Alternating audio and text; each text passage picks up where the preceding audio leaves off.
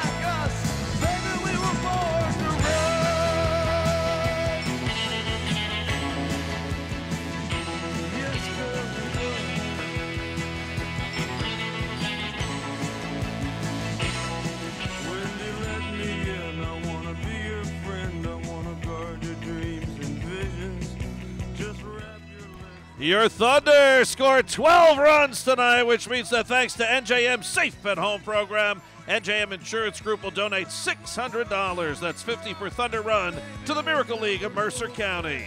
Final score tonight, your Thunder. 12 runs, 13 hits, and no errors. For Frederick, 11 runs, 13 hits, and 3 errors. Now, let's send it down to the field to meet our Thunder player of the game. Thunder fans, I'm in front of the Thunder dugout with your Hyatt Regency of Princeton player of the game, Christian Merriweather. Christian, before we talk about you know what just happened, we got to talk about the buildup of what just happened and kind of the weight that's lifted off your guy's shoulder. A tough second half for you, and it seems like during the second half of this game and really during that seventh inning, that kind of just disappeared.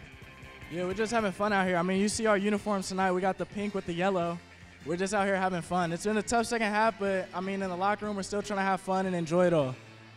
When your team is doing this,